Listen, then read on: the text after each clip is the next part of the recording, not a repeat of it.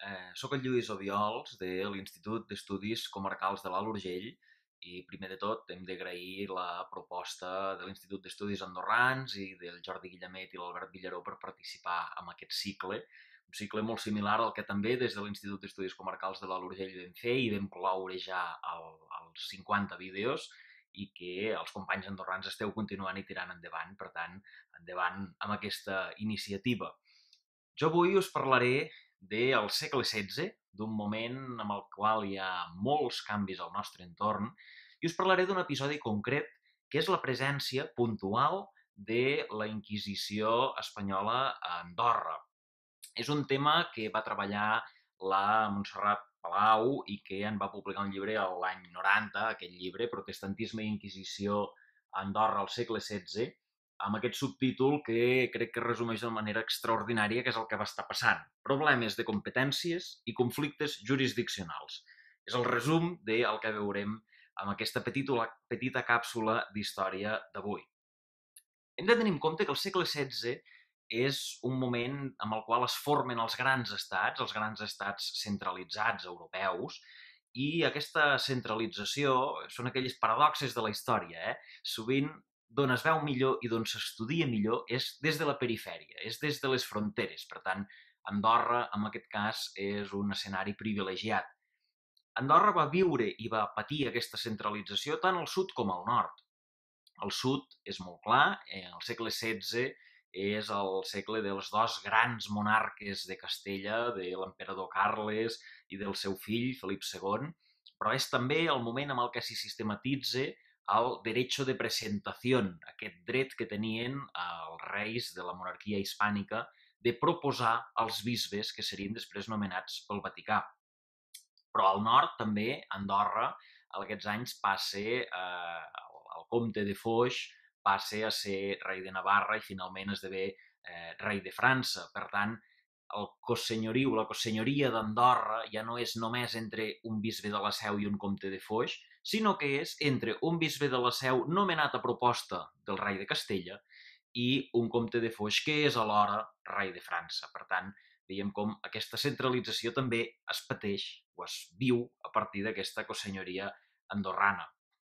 Una cosenyoria que l'hem d'entendre dins de tot un conjunt de realitats pirinenques i muntanyenques eh, singulars, com la Vall d'Aran, com la Vall de Querol, evidentment la Vall d'Andorra, el Vescomtat de Castellbó, una sèrie de territoris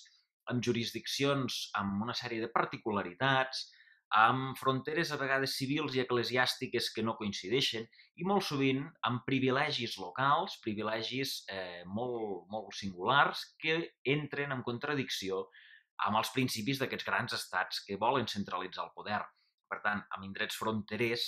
on el poder central i el poder reial cada vegada s'hauria d'enfortir més, aquests privilegis locals ho impedeixen i posen traves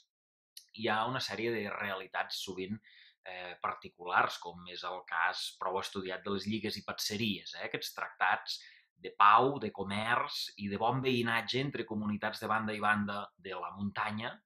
en aquests moments també de la frontera, amb la qual cosa, si els reis estan en guerra, parlant col·loquialment ho podríem dir, és el seu problema, eh? si ells estan en guerra que n'estiguin, però nosaltres som veïns i hem de conviure i hem de poder exercir les nostres activitats quotidianes. Per tant, aquestes dinàmiques que entren en contradicció entre elles.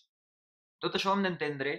amb el context andorrà, amb un territori que per les pròpies característiques físiques que té sempre ha tingut aquesta necessitat, en podríem dir, expansionista, perquè la transhumància ha de sortir fora del país, perquè el comerç que és un factor imprescindible per al desenvolupament econòmic d'Andorra, ha d'aconseguir una sèrie de privilegis, d'exempcions de lleudes, d'exempcions de pontatges i, sobretot, el dret a comerciar tant amb el nord com amb el sud, encara que els reis estiguin en guerra. Aquest és el gran privilegi que els andorrans estaran sempre intentant mantenir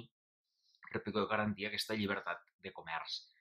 Però el segle XVI, a més a més, és el segle de la reforma protestant, és el segle amb el qual eh, les tesis de Martí Luther es difonen i aquesta reforma protestant i aquesta contrarreforma catòlica acaben generant, sobretot a la segona meitat del segle XVI, una veritable guerra civil a França, les guerres de religió. Unes guerres que afecten també el nostre entorn més proper. Tenim conflictes, tenim setges, tenim morts mm, massius, en podríem dir, a Foix, a Tarascó, al Castell de l'Ordat, eh, tocant a l'Osenac, per tant, a l'Arieja, eh, molt a prop de casa nostra, tenim aquesta sèrie de problemes. Evidentment, amb una cosenyoria andorrana formada per un bisbe catòlic i per un, eh, en aquest cas, comte de Foix, rei de Navarra, protector de protestants luterans, com se'n diu en aquell moment, o hugonots. Hugonots, hugonaus, igonaus, és com la documentació apareixen sovint aquests protestants eh, francesos. També, a més a més, és un segle en el qual passen moltes coses, com veieu, és el gran moment del bandolerisme, eh, d'aquestes quadrilles de petits exèrcits armats, eh, molt complicats d'interpretar a vegades, que travessen contínuament la frontera per evadir la persecució judicial. Evidentment, en un entorn fronterer un moment de contraband, com és habitual, però a aquesta època també de contraband de cavalls. Tot això fa patir perquè eh, estem que d'alguna manera aquests contactes del nord cap al sud, de bandolers que van i venen,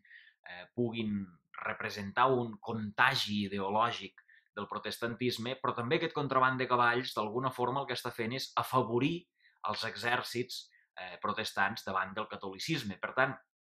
tot el que s'havia fet fins a aquell moment amb aquest entorn fronterer agafa una altra dimensió i agafa una altra dinàmica molt diferent pel context internacional que s'està patint. També, amb aquesta contrarreforma catòlica, sobretot amb el moment del regnat de Felip II de Castella, eh, hi ha aquest blindatge de la frontera per intentar contenir aquests temors de,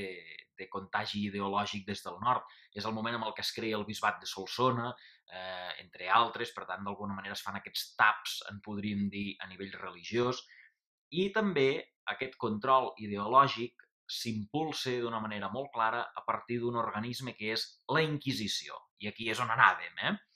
Aquesta Inquisició que no és la Inquisició medieval, que depenia de Roma, sinó és la Inquisició moderna, la Inquisició espanyola,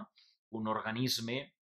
creat a finals del segle XV que mm, tenia unes motivacions, evidentment, ideològiques i religioses, però molt clarament de control polític, o, si més no, amb una motivació política darrere d'aquests eh,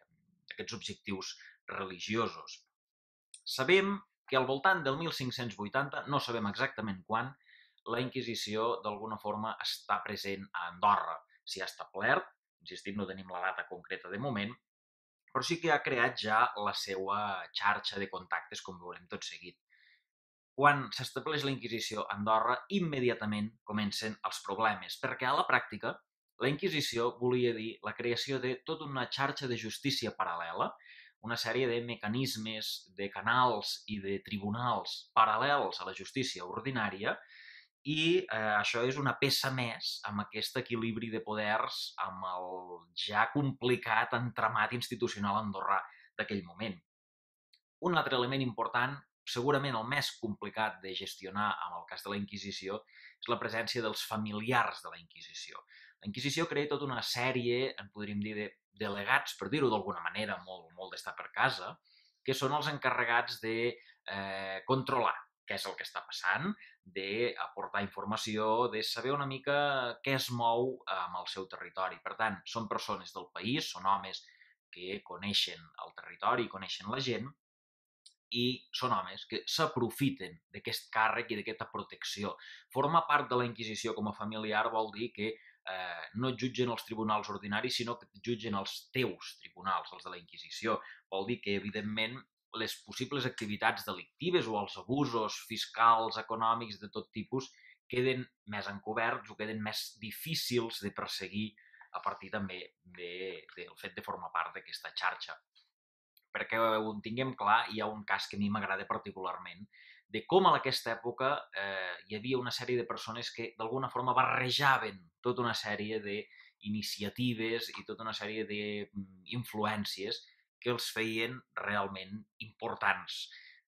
des del punt de vista d'aquella època. Parlarem de Josep Boquet. El senyor Josep Boquet és un senyor que per a mi particularment m'agrada molt. És un petit noble, és el baró de Calvinyà, d'aquesta localitat, a sobre mateix de, de la Seu, però la família Boquet era una família que tenia diversos parents canonges a la catedral de la Seu, eh, d'altres parents eren notaris també a, a la ciutat, a la ciutat d'Urgell, altres estaven controlant a nivell fiscal la frontera, amb el control de les duanes, del dret de les bolles que cobrava la Diputació del General de Catalunya, pel comerç de la llana. Eh, a més a més, Josep Boquet era cunyat de Joanot Cadell, un dels més cèlebres capitostos de bandolers d'aquest moment. Joanot Cadell, que des del seu castell d'Arsèguel protagonitzava algunes de les eh, maldats, en podríem dir, més cèlebres i que portaven més de corcoll les autoritats del país. Josep Boquet, que veieu que té influència en moltes institucions diferents, l'any 1587 va ser nomenat veguer de la ciutat d'Urgell i del Principat d'Andorra, de les valls d'Andorra en aquell moment. Aquest càrrec, això és un fet conegut, però crec que poc sabut, eh, aquest càrrec generalment l'ocupava sempre la mateixa persona. Tenia els dos càrrecs de veguer de la ciutat d'Urgell i de les valls d'Andorra. Els veguers prenien possessió a la casa de la ciutat, a la seu, a davant dels cònsols i del Consell General de la ciutat d'Urgell. Per tant, a partir dels llibres de consells de la seu, podem anar resseguint una mica aquests nomenaments i aquestes preses de possessió dels veguers de la seu i d'Andorra. Eh, cinc, és un detall simplement, però a aquest moment, perquè veieu la complicació que portava el fet de ser familiar de la Inquisició, eh, només es va acceptar com a veguer a Josep Boquet si abans renunciava al seu càrrec de familiar de la Inquisició, com finalment va acabar passant. Eh? Però, com veieu, és, és una causa d'incompatibilitat, eh, un problema, un conflicte de competència. Ser familiar de la Inquisició i alhora ser veguer eh, podia portar molts problemes i, per tant, aquestes queixes dels familiars que es troben a la Seu, es troben a Andorra, es troben a tot arreu, les veiem aquí, en aquest cas molt concret, amb un càrrec que afecta tant a la ciutat com, com a les valls. Com a curiositat, el 1604, quan va morir Josep Boquet, es va enterrar al claustre de la catedral de la Seu i si avui aneu encara hi podeu trobar la seva làpida. Simplement era una anècdota aquesta, però eh, aquestes queixes contra els familiars de la Inquisició són molt freqüents. Es conserva la queixa que el Consell de la Terra d'Andorra va elaborar el 1595, davant de l'inquisidor Francisco Arevalo de Zuazo, una queixa que mai es va contestar, però que perquè veieu la importància que tenia la Inquisició per aquest entramat institucional i aquests conflictes de competències i de jurisdicció que podien comportar, aquesta queixa eh, en va demanar una còpia Anton Fiter i Rossell quan estava elaborant el manual digest, una mica per veure què havia passat, com s'havia solucionat i, per tant, com a nivell institucional d'Andorra la presència de la Inquisició era aquest element distorsionador.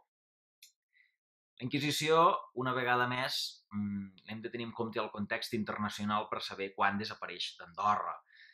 Enric IV, esdevingut eh, rei de França, a l'any 1598 va posar fil a aquestes guerres de religió a partir de l'edicte de Nantes, aquest edicte que d'alguna forma estableix la tolerància religiosa, amb molts matisos, evidentment, entre catòlics i protestants.